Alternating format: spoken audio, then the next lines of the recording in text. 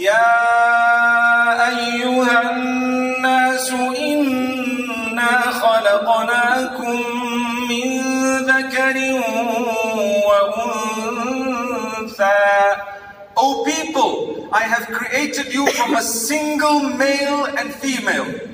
That's what the Almighty is saying. O people, I have created you from a single male and female.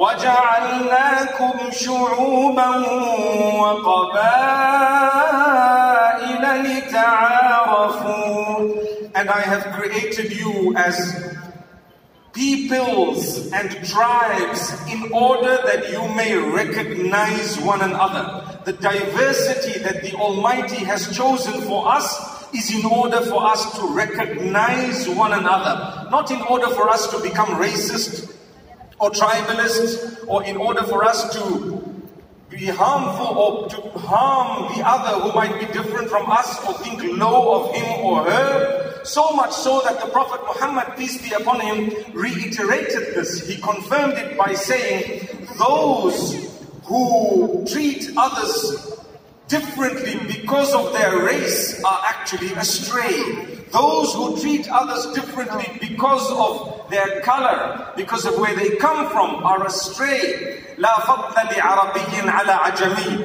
ولا لعجمي على عربي ولا لأبيض على أسود إلا بالتقوى. There is no virtue of an Arab over a non-Arab, or a non-Arab over an Arab, or a white over a black, except by piety, God consciousness, and that is known solely by the Almighty.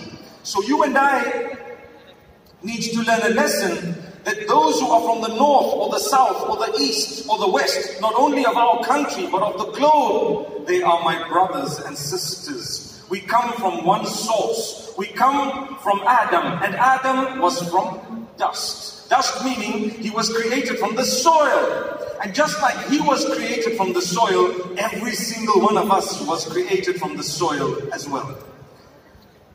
My brothers and sisters, we should go back to where we came from because without looking at where we came from, we will not realize and understand the connection that we have with one another.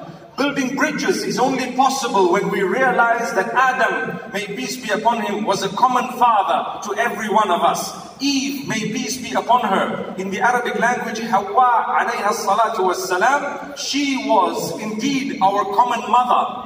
And if you realize that, you will come to realize that indeed we are so closely connected. It's only as time has passed we've become oblivious of this.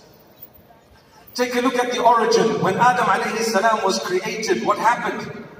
He had several children. According to one of the narrations, he gave, or he had children, his wife gave birth 20 times. Wow, that's quite a bit, mashallah. 20 times. Each time she had twins. One male, one female. They were connected in a beautiful way, but unfortunately the devil came to Cain and asked him to harm his brother Abel. I'm sure we've heard this. It's in the Old Testament as well as the Quran. And Allah subhanahu wa ta'ala speaks about it. واتل عليهم نبأ ابني آدم بالحق إذ قربا قربانا فتقبل من أحدهما ولم يتقبل من الآخر قال لأقتلنك